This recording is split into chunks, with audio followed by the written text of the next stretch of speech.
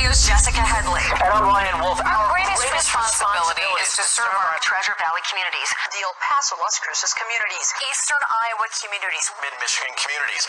We are extremely proud of the quality, balanced journalism that CBS 4 News produces.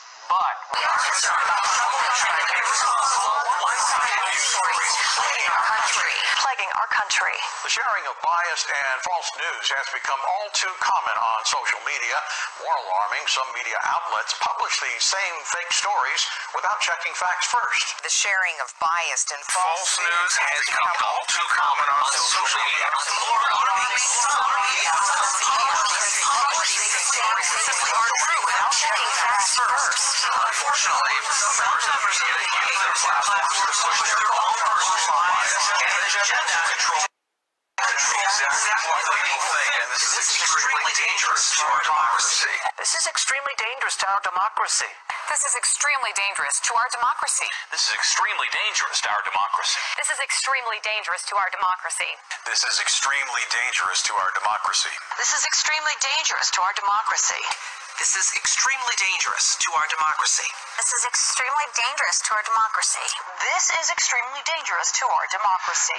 This is extremely dangerous to our democracy. This is extremely dangerous to our democracy. This is extremely dangerous to our democracy. This is extremely dangerous to our democracy. This is extremely dangerous to our democracy. This is extremely dangerous to our democracy.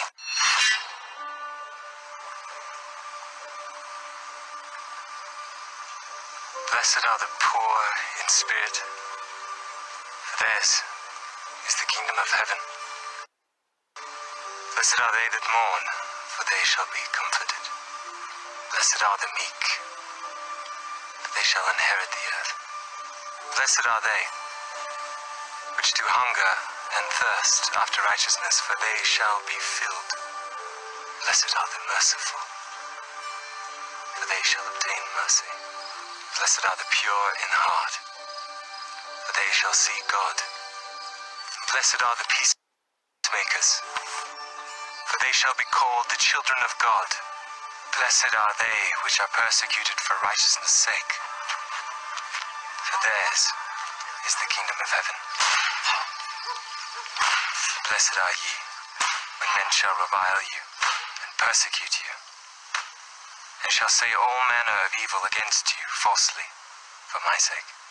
Rejoice and be exceeding glad, for great is your reward in heaven. For so persecuted they the prophets which were before you.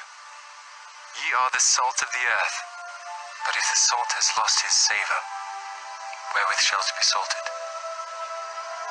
It is thenceforth good for nothing, but to be cast out and to be trodden under foot of men. Ye are the light of the world. A city that is set on a hill cannot be hid.